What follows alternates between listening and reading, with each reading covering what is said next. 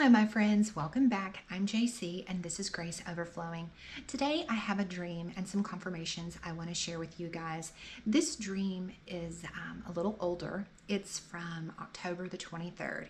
And because of that, I would like to read it to you as opposed to recollecting, as I believe by reading it, um, you know, you're going to see a more true vision of what it was that I had dreamed that night what I want to tell you before I start to read um, my notes from this dream is that I had had two dreams the same night about flash flood events. The second dream was not a continuation of the first dream, as has been common with me. They were two totally different dreams. But in the second dream, I already had an understanding from the very beginning of this dream that it was related to a flood from the first dream, if that makes sense. So, as I'm reading, that might help you know kind of where I'm coming from because I talk about some of these things before I actually say them. So, with that said, um, this is what I wrote. I was in a house on top of a high hill talking to my father, asking if we were really going to stay there. He said yes. The implication was that the house was new and was in a flood zone, and I wondered if we had flood insurance. Then I asked him why the house wasn't built on stilts. I don't recall an answer, but I looked outside for any signs of danger. That's when I saw a nice sized river at the base of this mountain or hill that was very steep, probably at least 75 feet away. And on the opposite side was another hill, so that the water came through what appeared to be a valley. It was a beautiful sunny day. The water looked calm, far off, and completely unthreatening, and I wondered how much rain would have to fall for it to reach this house we were in. I went outside and decided to explore a bit, going down this hill toward the water then, when I was about halfway to the water from the house, I saw what looked like a huge wave of water come in from the right side, and then I saw another huge wave come into the scene from the other side, and that's when I panicked, realizing that the water was coming in extremely fast. When I turned around, this mountain was even more steep than I perceived it to be, and water gushed in behind me. I finally made it back up to the house, and it was dusk. Time had passed very quickly. The door was locked, the lights were on, with a warm golden glow radiating from the home. I rang the doorbell, and quickly my father, and I have a parenthesis that says dark hair, definitely not my earthly father. He opened the door just as the water was rushing up on the doorstep. He opened, and I ran in, finally feeling safe. As I ran into his arms, I said, They literally just opened the floodgates. And I woke up.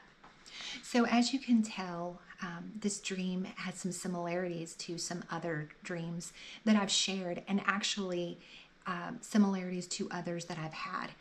Off the top of my head, I can think of at least two other dreams that I've had since summer about gushing water, rushing water coming out of nowhere. And I definitely believe that the Lord has been speaking to me for a long time that this is symbolic and it tells how things are going to happen. That things are going to start happening, and when they happen, are going to happen very quickly. They are going to be very shocking and are going to advance with lightning speed. Now, with all that said, let me talk through some elements of this dream. Obviously, the father had dark hair. I perceived myself to be younger in my dream than I was, even though it was me. Um, and I believe this shows the relationship that I have with God. I think the Father symbolized God the Father and the safety of this home that I had with Him. I had asked Him if we were going to stay, and He said yes. In my dream, I didn't know why. Why would we buy a house? Because it seemed to be new. Why would we buy a house in a floodplain? Why would we do that? But He told me that we would stay there. And I think that this part of the dream just points to the times and seasons we're in that if you are living on earth, you are in a floodplain. You know, there is an enemy, he is real. And, you know, there are situations and circumstances, you know, especially as we advance toward the ends of the age, that are going to be coming up upon the entire world, including the body of Christ. Now, I believe, as I've told you, we will be raptured. But what I think that this part of the dream says is that whatever this flash flood event that, you know, was in this dream, I believe that the yes spoke to that. Whatever that situation is, I believe that the church will be here for and will experience that and needs to be prepared for that. So, um, going on, I knew we were in a floodplain. I wondered about flood insurance and why the house wasn't built on stilts. Now, spiritually, like I said, we all live in a floodplain, but our safety is in the Father. You know, if you have built your house, your spiritual house on the rock, who is Jesus Christ, it does not matter what comes upon you or I, because we will be covered in the ark of his safety no matter what comes upon this earth. Now, there were two waves. I don't know what both waves indicate or if they indicate something different. But one came in from one side, the other came in from the other. But I will tell you that I believe strongly in my spirit that one of these waves indicate the election, some aspect to do with the election. And I'll tell you why. Just as the Lord had started to pour all of this into my spirit, shake me up on it, remind me of it, and, you know, bring this very pressing feeling that this is a now message and that this is where we are. I've been getting myself ready that morning, just in conversation with the Lord. And um, I came out, and my husband happened to be in the bedroom and happened to be on Facebook and was reading an article that one of his friends had posted related to the election. Now, it's interesting, number one, that he was on Facebook doesn't do it a lot. And it's interesting, number two, that he was reading anything to do with the election because we both try to stay away from fake news. And, you know, we're really trying to seek God on this, not the words and, uh, a lot of times deceitful lies as it relates of man. So we have just been kind of avoiding that whole thing. But for whatever reason, this article um, caught his eye and he was reading it. I walk out and um, before I had actually left the bathroom, I had asked the Lord, I said, okay, Lord, give me a wave, you know, as this sign of confirmation. I said, give it in a way that only you can. You know, speak to me, let me know, validate this if this is what you want me to speak, so that I can know that it's from you and um, it's the time and this is the message. So, what was interesting is that my husband continued to read me this article, and it was related to something that apparently Rudy Giuliani had said in one of his YouTube um, updates about how something was going to happen that would be shocking. And he went on to say this this author of this article, and I again I'm just this is fully just recollection. Um, I'm not trying to quote him directly, but I'm just giving you this picture of how this confirmation came through, how this wave came through. Um, I will link that article in the description box in case you're interested in seeing it. But what it had said was that something big was happening and that their strategy was not to a drip, drip, drip, drip kind of mode. That it's going to come out all at once and it was going to be shocking and it was going to be big. And it was interesting because I think one of the lines was even saying, like, you know, you almost have to read in between the lines. Like, you have to add two plus two together. And so when I heard that, you guys, I just felt like I had just asked for a wave.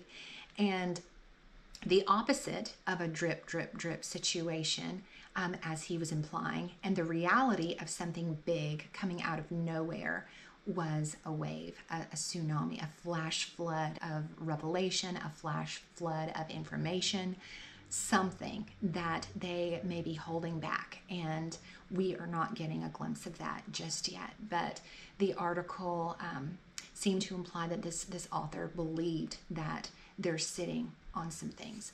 So, with that said, I believe that's one of the confirmations he's given me. And I believe that the confirmation also speaks to the election, that one of these waves, at least, is somehow related to the election. And I've told you what I believe is going to happen with this election that whatever it appears right now will be changed, will be overturned. It will not happen as a lot of people believe that it will. Now, to continue with the dream, I ran into the Father's arms. You know, that symbolizes our absolute need to abide in Him and the fact that we are safe when we are inside of our secret place, when we are in the shadow of the shelter of His wings. And um, I had spoken on that in one of my last videos. And, you know, the, the fact is, I just remember as soon as I got to this home and I ran into that warm light. And as soon as he closed that door and I ran into his arms, and it's like they literally just opened the floodgates, I knew that I was safe, that that water could not advance past that door. Speaking of door, it was locked. I had to wait. I couldn't just bust my way through, which was interesting until the Lord revealed to me the lock, why it was there, what it symbolizes. And my friends, that symbolizes the Lord Jesus Christ. He is the door. In John 10 and 9, he says of himself, I am the door.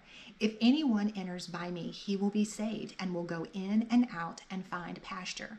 Now, in order to be let in, I had to accept Jesus Christ, which I was allowed in. The Father welcomed me into that shelter, into that safe haven that is Him.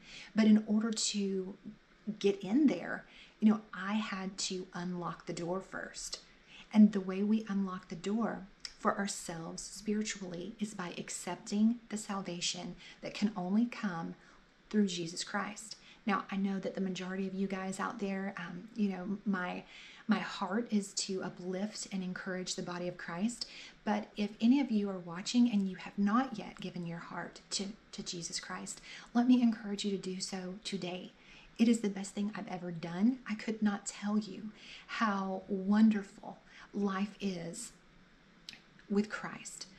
All you have to do in order to do that is to surrender yourself and acknowledge that you are in need of a Savior. Asking Him, you know, into your heart, into your life, believing that He was the Son of God, that He was born onto this earth as a tiny little baby, and He lived on earth a perfect man, and He died to save us all from our sins. If you can believe that in your heart, if you can confess that with your mouth, that is the first step. That's all you need to do, which is really incredible. Um, and the power comes from Jesus and what he did and how he saved us from ourselves. So if you can do that, and if you do do that, you know, then I praise the Lord that you are now a member of his family. You are a part of the kingdom of God. And if that is the case, then trust and rest that no matter what this world brings at you, you know, if you are walking side by side with Christ your Savior, if you are leaning on Him and His power, you know, the door will always be open to you. You will always find safety in the shelter of the Most High God, God Almighty. Now, I want to talk through these other confirmations that I had received that were very significant. I was led to look up 1023 because that was the day that I had gotten the dream. October the 23rd. And what I found, you guys, just blew me away. And it spoke volumes about what this message means beyond what is so obviously here, more than what I've just spoken, and confirmed also that this message was from God, that this dream was from God. Now, 1023 in Strong's Concordance, you know, these words, these um, Hebrew and Greek, they're numbered. Um, number 1023 in the, the Hebrew, it says a place in Palestine, a place that was far off, possibly proper name of a location, a house or a settlement on the bank of the Kidron. Now, what's interesting about that is that I looked this place up, this valley of Kidron and forgive me if I'm saying it wrong. But what it is, is it's very deserty looking, so it looked different than that in my dream. It was very lush in my dream, very green in my dream, very America looking in my dream. Whereas, you know, this, this Kidron Valley looks very um, much like you would expect, kind of in almost like that desert scene, um, Israel, Palestine. But what was so significant was that you've got these homes basically on one side of the mountain, and you have a valley and you have a body of water that flows right in between it. And when I saw that, I was completely astonished at the similarities. Um, even though the Kidron homes, they were built in kind of to the side, in this dream, this home was on the very, very top of the mountain. But I think that has more significance to do with um, the Lord Himself. You know, He is the mountain and He is that highest point that we can get to, and we can experience it on earth when He lives inside of us and we find shelter um, in His presence. So, that got my attention in a big way. I'm like, okay, Lord, like I'm with you. Like, of all days you gave me that dream, it was this day. So let's see what else you've got. And then I looked the number 1023 up in the Greek, and it blew me away. It points to arm, the arm, and it is a symbol of strength, just as in the Bible, so, so, so many times. Um, the Lord's strength and his action is by his his hand and his arm points to his strength. And so i um, just took some time to look at all the bible verses that show the arm of god the arm of god the arm of god. And what was interesting is there were so many i had a hard time deciding what am i going to share today? Because there's a significant message here. Because the message is whatever is coming, these tsunamis, these waves that are going to be coming in fast, unexpected, out of the blue, they are intended to show the glory of God. That water is being swiped in by the powerful arm, by the strength of God. And so, with that, as I'm going through these uh, Bible verses, I'm reading them and I'm like, okay, well, that kind of shows who, and that kind of shows what, and this kind of shows when. And then all of a sudden, the five W's came to my mind. Um, you know, the who, what, when, where, why. And some people add a six in, which is actually the how. And before you know it, I had kind of pieced together what I thought was just an incredible word that the Lord was trying to give me, assurance that He was trying to speak to me. And I'm going to try to read through these quickly and just give you the short little revelation that the Lord has given me with each one of these verses and show you how, when it is all pieced together, you know, what we have at the end is God in His full glory. So, um, as I said, the five W's are used in information gathering and problem solving. So, with that, the first one I'm going to address is who. And um, obviously, the who is the Lord. And the verse that the Lord revealed to me and brought me to was Isaiah 40:10, which says, Behold, the Lord God will come with might, with his arm ruling for him. Behold, his reward is with him, and his recompense before him. Now, recompense in this usage means that whoever has suffered, whoever has been treated badly, the Lord will repay them according to their deeds, which I think is very significant.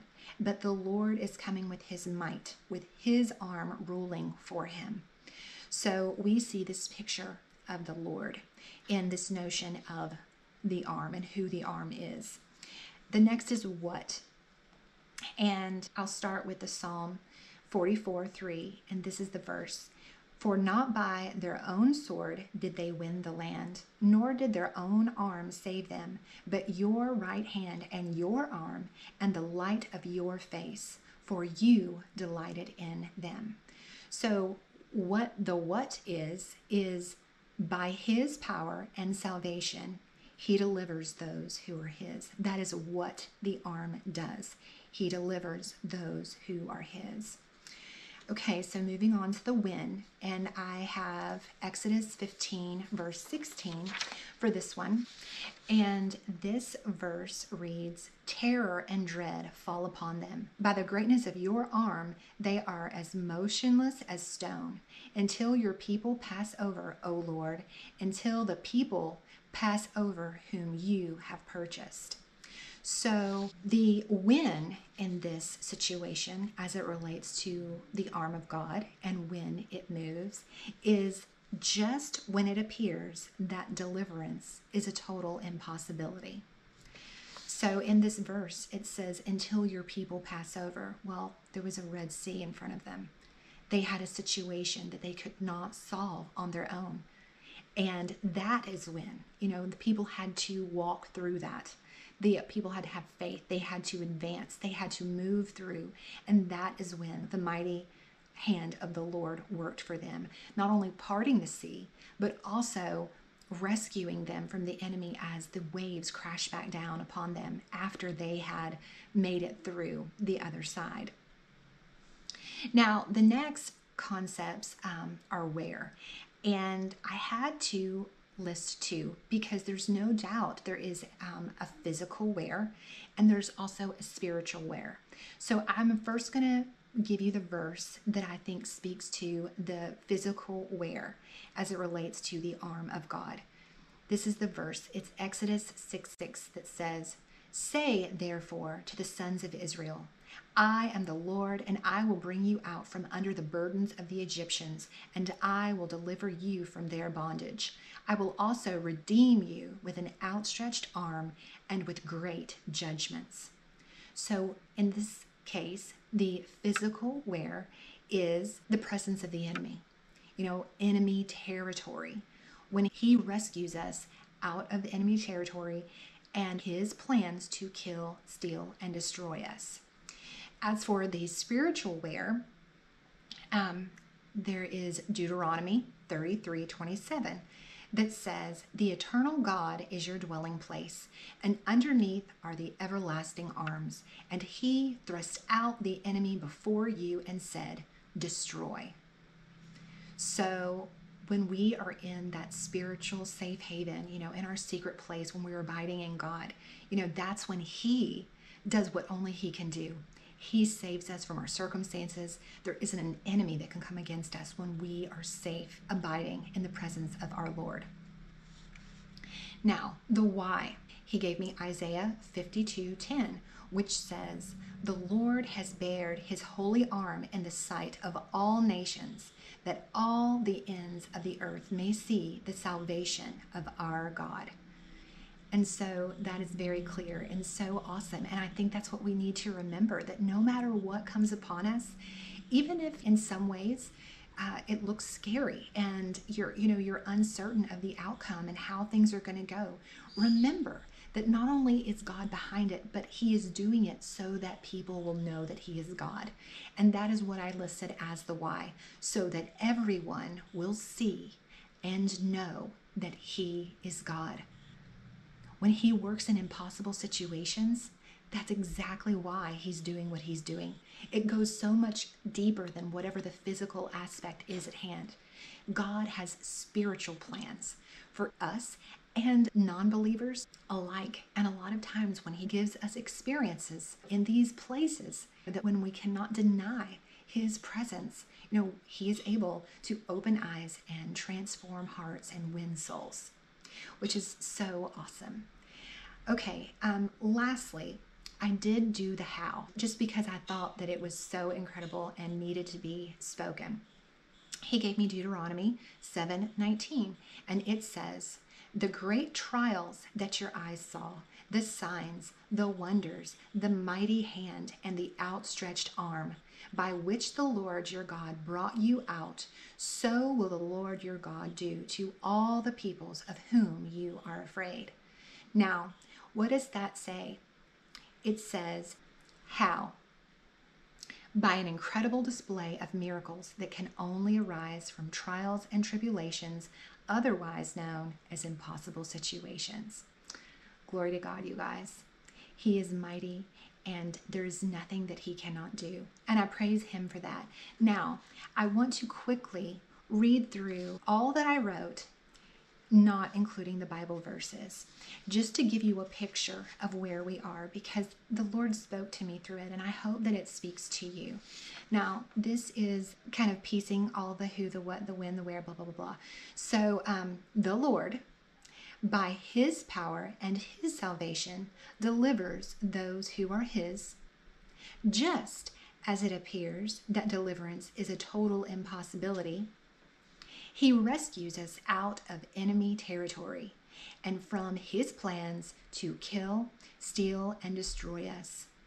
As we abide in him and cast all our hope on him, so that everyone will see and know that he alone is God by an incredible display of miracles that only arise from trials and tribulations, otherwise known as impossible situations.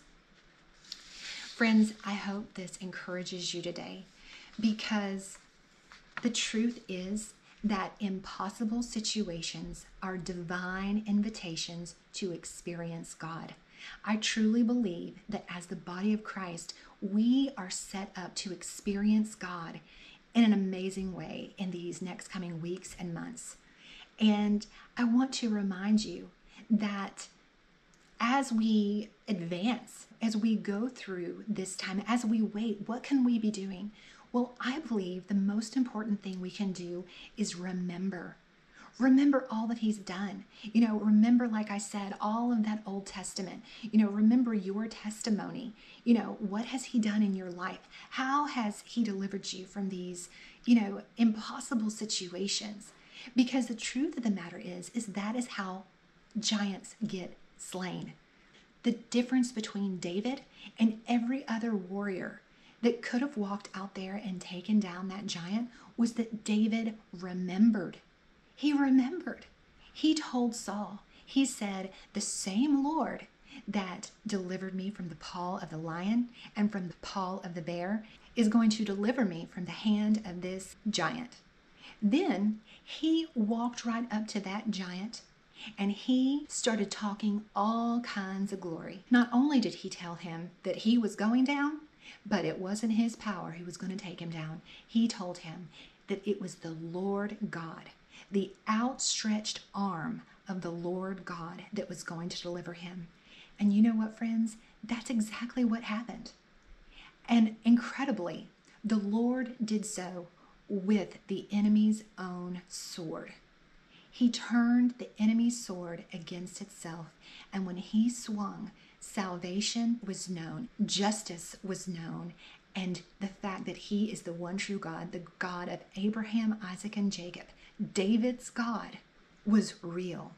And David's God was powerful because there is no way, no way that man can kill a giant with a slingshot. But with God, all things are possible. Friends, I hope this encouraged you today, and I appreciate you so much for watching. I look forward to hearing from you in the comments, and I appreciate those who are sending me emails. Um, just be patient with me with the holiday, and actually, I haven't felt great. Um, the last couple of days, I've been a little bit delayed in responding, but I totally will. I love hearing from you guys. Now, I do want to leave you with one more Bible verse that shows the glory of the Lord's arm, and it points to what we should do during these times, and it is linked to other videos that I've done um, related to times such as these. I encourage you to go to your Bible right now if you're able and and read the entire thing because it speaks so much about the times we're in you guys so much but let me just read this first verse of Psalm 98 which says oh sing to the Lord a new song for he has done marvelous things his right hand and his holy arm have worked salvation for him. My friends, until next time, may the Lord bless you and guide you and fill you with his perfect grace overflowing.